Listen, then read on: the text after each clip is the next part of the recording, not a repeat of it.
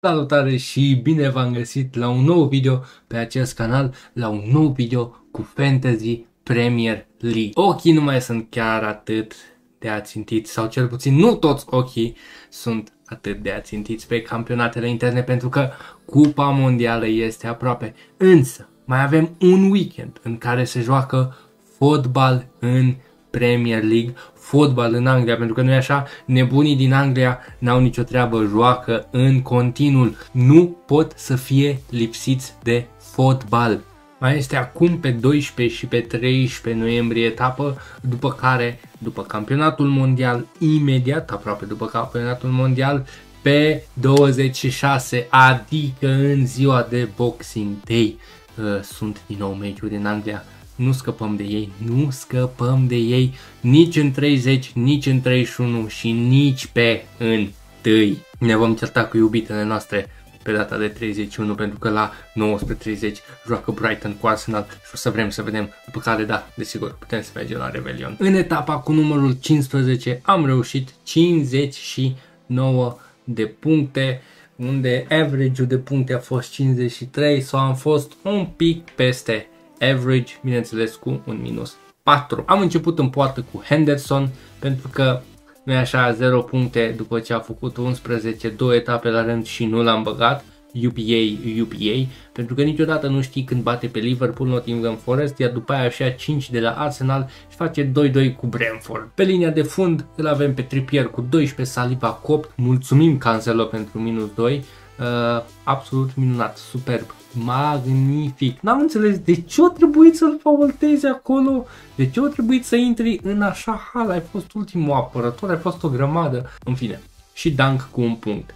De Bruyne capitanul cu 14, dacă lăsam pe uh, Kane aveam 2 puncte în uh, plus, uh, Saka și Trossard cu 5, Jesus cu 2, Solanke cu 6, pe bancă De Gea 1, Eze 6, Williams 1, Andreas 6. Trebuie să se întoarcă trebuie să se întoarcă Haaland fără doar și poate. Etapa 16 începe din nou cu Manchester City, uh, primul meci de la 14.30 împotriva celor de la Brentford, Bournemouth cu Everton, Liverpool cu Southampton, Nottingham Forest cu Crystal Palace, Spurs cu Leeds și West Ham cu Leicester joacă de la ora 17, Newcastle continuă meciurile de la ora 19.30 împotriva celor de la uh, Chelsea, iar Wolves cu Arsenal încheie ziua la o oră de Champions League 21.45.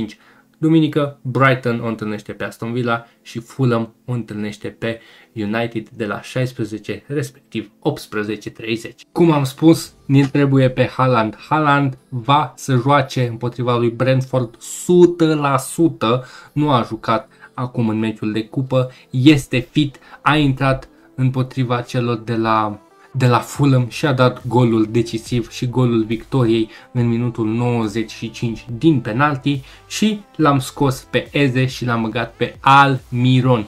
Iar echipa arată așa, De Gea, Trippier, Saliba, Cancelo, Almiron, Saka, De Bruyne, Trossard, Haaland, Jesus, Solanke pe bancă, Henderson, Andreas, Eco Williams și Dunk. Sunt foarte curios. Saliba, Saka, Jesus, De Bruyne și Cancelo merg la națională. Trossard cred că merge și el la națională. Sunt foarte curios dacă o să joace sau dacă o să fie menanjat sau cum o să joace. Pentru că nu cred că o să pună osul atât de tare. Vor la mondial. Săptămâna viitoare începe mondialul. Suntem pregătiți pentru așa ceva. Mulțumesc că v-ați uitat și la acest video. Lăsați-mi în comentarii dacă voi ați făcut schimbări pentru această etapă și, și ne vedem cu FPL în decembrie de Boxing Day. Să aveți un weekend minunat și spor la vizionat meciuri. Să le vizionați cu o bere și în liniște. V-am pupat. Ciao!